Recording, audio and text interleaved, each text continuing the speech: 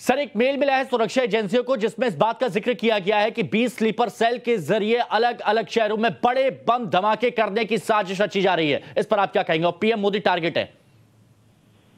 देखिए, कुछ दिनों से ये बात तो सामने आ रही है कि इस तरह के असामाजिक तत्व और जो देशद्रोही हैं देश विरोधी जो तत्व हैं, वो इस तरह के कार्य कर सकते हैं। ऐसे कई सूचनाएँ मिली और कई घटनाएँ भी हुई। आपको याद होगा कि दिल्ली में भी दो जगहों पर आरडीएक्स और इस तरह के एक्सप्लोसिव मिले हैं। हम्म। तो इस बात से इनकार नहीं किया जा सकता कि जो भी इस तरह के लोग हैं वो पूरे देश को बर्बाद करने में लगे हुए हैं। लेकिन हमारी इंटेलिजेंस एजेंसीज और साथ ही हम्म। साथ हमारी सिक्योरिटी जो व्यवस्था है वो बहुत चुस्त दुरुस्त है। तो मैं नहीं समझता कि उसमें कोई दिक्कत आनी चाहिए। और मैं समझता हूँ कि स्टेट पुलिस और central agencies central intelligence bureaus जितने भी होंगे वो सब इस पर लगे होंगे। लेकिन ये बहुत ही बहुत ही खतरनाक ये न्यूज़ है अगर ये सही है कि एनआईए या किसी भी संस्था को इस तरह का एक कोई लेटर आया है जिसमें 200 जगहों पर अगर इस प्रकार के बम से उड़ाने की घटना है तो इसको इनकार भी नहीं किया जा सकता और इस पर तुरंत कार्रवाई किए जाने की आवश्यकता है।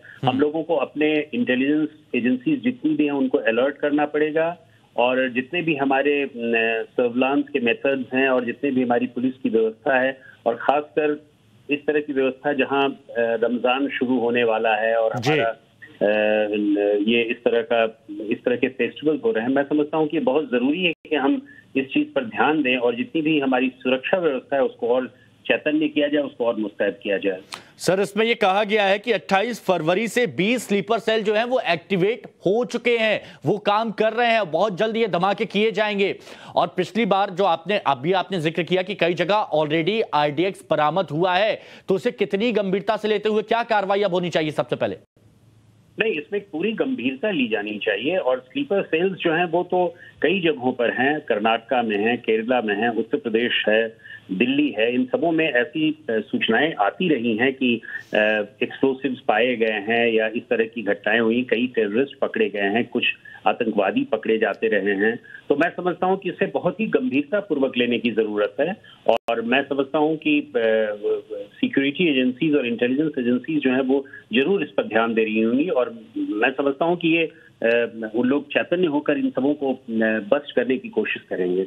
क्या ये माना जाए कि जो माहौल है लॉ एंड ऑर्डर सिचुएशन है, उसको खराब करने की कोशिश है? देखिए इलेक्शन के दौरान भी इस तरह की बात आई थी कि इस तरह का माहौल किया जाएगा जिससे कि लॉ एंड ऑर्डर की व्यवस्था खराब हो और देश में इस तरह का माहौल हो ताकि रॉयट्स हो या इस तरह के हो। कई न्यूज़पेपर्स में इस तरह की घटनाएँ और इस तरह के समाचार आते रहे हैं।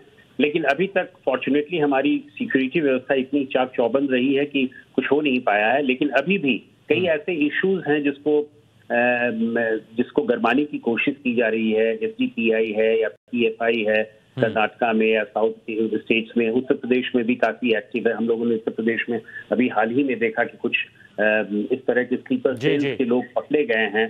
तो इसमें इंटेलिजेंस ब्यूरो को और अलर्ट होने की आवश्यकता बिल्कुल बहुत ज़रूरी है कि इस पूरे मामले में बहुत सावधानी बरतनी होगी। शुक्रिया आपका हमारे साथ जुड़ने के लिए। प्रियांक हमारे सहयोगी इस वक्त हमारे साथ जुड़ चुके हैं। प्रियांक बहुत गंभीर मामला सामने आया है। और प्रियांक, ये जो खबर आई है, ये जो बेहद चौंकाने वाली खबर इसे कहा जा सकता है। और पिछले कुछ घटनाक्रम देखें तो दिल्ली में आईडीएक्स भी बरामद हुआ है, सुरक्षा के साथ खिलवाड़ भी किया गया है। तो इसे आप कैसे देख रहे हैं? देखिए हिमांशु जिस तरीके से सुरक्षा एजेंसियों को इससे पहले भी इनपुट्स मिलते रहे हैं उसको लेकर के जितनी मल्टीपल एजेंसीज हैं जो देश के हर नागरिक की सुरक्षा में लगी हुई हैं और खासतौर से प्रधानमंत्री की सुरक्षा में कई सारी एजेंसियाँ लगती हैं इनके आपस में बीच में कॉरेस्पॉन्डेंस होता है अट्ठाईस फरवरी का ज़िक्र हो रहा है इस ईमेल में बट हमारी जो सूत्रों से बात हुई है उसके मुताबिक इस थ्रेट ईमेल को अभी भी पूरी तरीके से खारिज नहीं किया गया है एक एक छोटी छोटी जो इनपुट्स होती है। उन चीज़ों को एक साथ रख करके एजेंसी काम करती हैं। अब दो तीन चीज़ें इसमें देखने वाली हैं। देश में पहले भी स्लीपर सेल्स नज़र आए हैं, जिन्होंने कई बार हमले किए हैं और कई बॉम्ब ब्लास्ट किए हैं। वो चीज़ दिखती है। दूसरी चीज़ अगर आप देखें दिल्ली में कई बार पंजाब और के जो बॉर्डर्स हैं पाकिस्तान से सटे हुए वहाँ पे भी जो आईडीज मिले हैं मानशु इन सारी आईडीज में आरडीएक्स मिला है तकरीबन तीन साढ़े तीन से सवा तीन किलो का आरडीएक्स हर आईडी में मौजूद था। हम्म। अब जब इस ईमेल में 20 किलो आरडीएक्स की बात की जा रही है और 20 शहरों की बात की जा रही है तो इस बात से बिल्कुल को बिल्कुल नकार नहीं सकती एजेंसियाँ कि तकरीबन दर्जनों की तादाद में पाकिस्तान के ज़रिए देश में आईडीज भेजी गई थी, क्योंकि यहाँ पे जो एजेंसी के सूत्र बताते हैं कि अब उस तरीके सोफिस्टिकेटेड आईडी बनाने वाले मॉड्यूल मौजूद नहीं है उसी को लेकर के पाकिस्तान हम्म। अब अपने बॉर्डर के ज़रिए ड्रोन के ज़रिए इन आईडीज को देश में भेज रहा है चूँकि हम्म। प्रधानमंत्री की सुरक्षा का मामला है इसलिए एजेंसियाँ इसको पूरी मुस्तैदी से ले रही है बहुत संजीदगी से ले रही है इस पूरी बात को और इस चीज़ को लेकर के आगे बढ़ रही है हाँ। हालाँकि ये जो ईमेल कॉरेस्पॉन्डेंस है ये अट्ठाईस फरवरी का हिमांशु हम्म। लेकिन अभी भी इस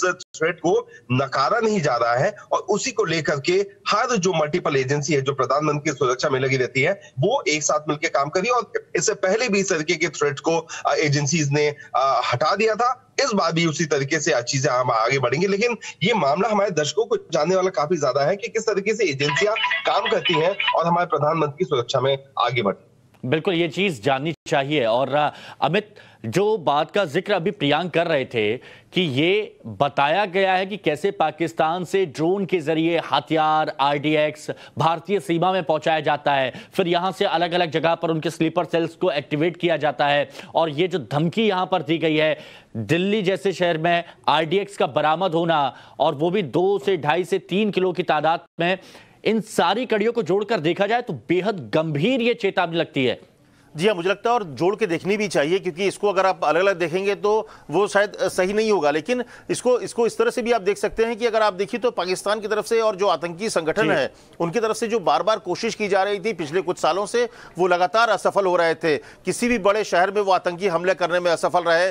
कश्मीर में आप देखिए तो वहाँ पर लगातार जो सुरक्षा एजेंसियाँ हैं और सुरक्षा बलों के साथ मुठभेड़ हो रहा है और बड़ी संख्या में आतंकी मारे जा रहे हैं। और यहाँ पर वो उनकी पूरी कोशिश है, चाहे दिल्ली हो या फिर उनके आसपास हो, जिस तरह से बड़े शहरों की बात आ रही है, इसका मतलब है कि लगातार ये कोशिश हो रही है कि दिल्ली और दिल्ली के आसपास के इलाकों को दहलाया जाए, बम धमाके किए जाए, ताकि संदेश उनको दिया जाए भारत सरकार को कि कोई आतंकी संगठन जो कमज़ोर नहीं हुआ। लेकिन सुरक्षा एजेंसियाँ और जो खुफिया तंत्र है, उनकी मजबूती की वजह से ये बार बार सफलता मिली है लेकिन इस बार जिस तरह से जानकारी मिल रही है उस मेल में कि 28 तारीख को एक्टिवेट किया गया है स्लीपर सेल्स को तो मुझे लगता है ये काफ़ी गंभीर मामला और सीधे सीधे प्रधानमंत्री मोदी को लेकर जो बात कही गई है मुझे लगता है सुरक्षा एजेंसियों ने जिसमें जो पत्र का जो दूसरा हिस्सा है उसमें ये लिखा हुआ है फिर तमाम फॉर्मर डीजी पूर्व डीजी विक्रम सिंह इस वक्त हमारे साथ में जुड़ चुके हैं।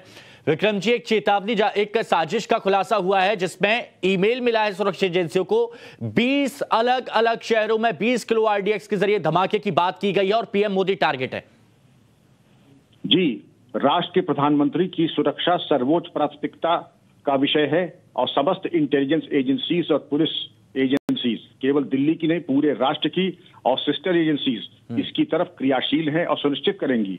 ये और अन्य कोई कुंसित प्रयास हो उसको किस प्रकार से निष्प्रभावी और निष्फल किया जाए। हम्म। अब इसके ऊपर आ जाते हैं। इन्होंने जो धमकी दी है ज़ाहिर है ये कुंसित मनोवृत्त का कोई व्यक्ति है और अपनी कुंठा इस ईमेल के द्वारा व्यक्त किया है। लेकिन शासन प्रशासन का उत्तरदायित्व है और सदैव की भांति जो ड्रिल है पूरी गंभीरता के साथ शत प्रतिशत ही नहीं 200 प्रतिशत इसकी कार्रवाई जिन्होंने इसको लिखा है और तथा कथित अगर स्लीपर सेल 20 हो या 25 हो या 40 हो हम्म। उनको नेस्तनाबूद करके मिट्टी में मिलाना अगर कहीं आरडीएक्स या अन्य कोई विस्फोटक हो उसके ऊपर भी कब्जे में लेकर के प्रभावी कार्रवाई करना हमारी ज़िम्मेदारी है और इसके हम्म। पहले भी कई ऐसे कुंसित प्रयास निष्फल किए गए हैं निष्प्रभावी किए गए हैं और ऐसे तत्वों को न्यूट्रलाइज किया गया है और ये भी न्यूट्रलाइज किए जाएँगे हम्म। मानसिक चिकित्सा जो कुछ भी होना है परीक्षण इसके उपरांत देखा जाएगा किन परिस्थितियों में उन्होंने इस प्रकार का जो ईमेल आपने पढ़ के सुनाया उससे ये भी एक बात तो स्पष्ट है कि ये कुंसित मनोवृत्ति का ये व्यक्ति है पूर्वाग्रह से ग्रसित है हम्म। और इसीलिए हमारे प्रधानमंत्री के ऊपर इस प्रकार के अनर्गल बातें कही हैं और व्यक्त की हैं हम्म। मुझे पूरा विश्वास है कि शीघ्रता शीघ्र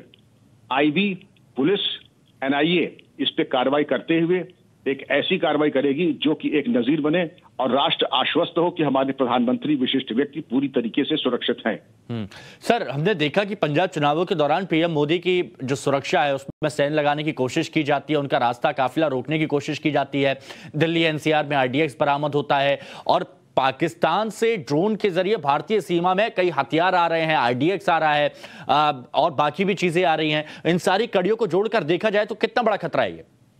ये बहुत बड़ा खतरा है सात जनवरी प्रधानमंत्री का पंजाब दौरा जिसमें कि आपके सामने एक वो चित्र और व्यवस्था देखी गई जो कि अभूतपूर्व थी और बहुत ही निकृष्ट पुलिसिंग का द्योतक थी हम्म। फिर आपने देखा सब्ज़ी मंडी दिल्ली में उन विस्फोटों की बरामदगी हुई जिनकी तरफ़ आपने संकेत किया हम्म। ड्रोन के माध्यम से आरडीएक्स पहुंचाना और इसके अलावा एक और चीज़ जो आप आपके संज्ञान लाना चाहूँगा जो वो फूहड़ और बहुत ही गंदा एक वीडियो निकला था जिसमें प्रधानमंत्री के कैरिकेचर को पुल के ही ऊपर घेर करके आतताई उनके ऊपर आक्रमण कर रहे हैं। हाँ। तो कल्पना शक्ति जी। विक्रम विक्रम सिंह जी लेकिन जिस तरह से पूरा ईमेल है उसमें जिस तरह से लिखा है लेकिन आपको लग रहा है कि हालाँकि गंभीरता से लेनी चाहिए ईमेल भले किसी ने भी किया हो हर चीज़ को गंभीरता से लेनी चाहिए लेकिन जिस तरह से धमकी दी जा रही है ये शरारत भी तो हो सकता है क्योंकि जिस तरह की भाषा का बात कर रहे हैं कि हम आ, मार देंगे प्रधानमंत्री को तो ये शरारत भी हो सकता है हालाँकि सुरक्षा एजेंसियाँ इसको गंभीरता से ले रही है। शरारत हो सकता है लेकिन हमारे पास ये लग्जरी ये विकल्प नहीं कि शरारत को शरारत की तरह लें। हम इसको शत प्रतिशत गंभीरता पूर्वक ले रहे हैं और जब इसका अनावरण होगा आप स्वयं देखेंगे कि जिन्होंने ये दुस्साहस शरारत करने का किया अगर ये शरारत है तो ये उनके जीवन की बिल्कुल बिल्कुल लेकिन लेकिन लेकिन, सकता लेकिन है कि हर चेतावनी को गंभीरता से लेना है और हमारे साथ इस वक्त एसपी वैद जी जुड़ चुके हैं फॉर्मर डीजीपी जम्मू कश्मीर के। सर एक चेतावनी एक साजिश का खुलासा हुआ है जिसमें 20 अलग अलग शहरों में 20 किलो आरडीएक्स के ज़रिए लोगों को टारगेट करने की बात की है और टारगेट पर पीएम मोदी भी हैं। जी आ, हमारे प्रधानमंत्री श्री नरेंद्र मोदी जी आ, एक दुनिया के बड़े टॉल लीडर हैं बहुत बड़े आ, उनका व्यक्तित्व है और उनको बहुत सारे टेररिस्ट ऑर्गेनाइजेशन टारगेट करने की कोशिश करते करते आए हैं और आगे भी करते रहेंगे। लेकिन मैं समझता हूँ जो भी इनपुट्स आया है ईमेल के ज़रिए, इसको हमारी सेंट्रल एजेंसीज लाइटली नहीं लेंगी और इस पर वर्कआउट करेंगी फर्दर इसको डेवलप करेंगी इनपुट को और देखेंगी कि कहीं चाहे शरारत भी हो बट इसको सीरियसली लेकर इसको गंभीर से गंभीरता से लेकर इस पर बाकी इसको डेवलप करने की कोशिश करेंगे। और आपने देखा था जब पंजाब की इलेक्शन हुई तब भी कुछ कुछ कोशिशें की गई। प्रधानमंत्री जी को टारगेट करने की और मैं समझता हूँ वो इन सभी टेररिस्ट ऑर्गेनाइजेशन जो पैन इस्लामिक टेररिस्ट ऑर्गेनाइजेशन है जो हमारे नेबरिंग कंट्री से ऑपरेट हाँ, करती हैं हाँ, उनकी रडार पे हैं और हमारी जो सिक्योरिटी एजेंसीज हैं एसपीजी और बाकी इंटेलिजेंस एजेंसीज और हम्म। जो हमारे सिक्योरिटी सेटअप है वो प्रधानमंत्री को पूरी तरह सुरक्षित रखते हैं और हम सब की दुआएँ उनकी, उनके साथ हैं क्योंकि देश को उनकी ज़रूरत है। बिल्कुल शुक्रिया सर आपका हमारे साथ जुड़ने के लिए, अपनी बात रखने के लिए। और इस बड़ी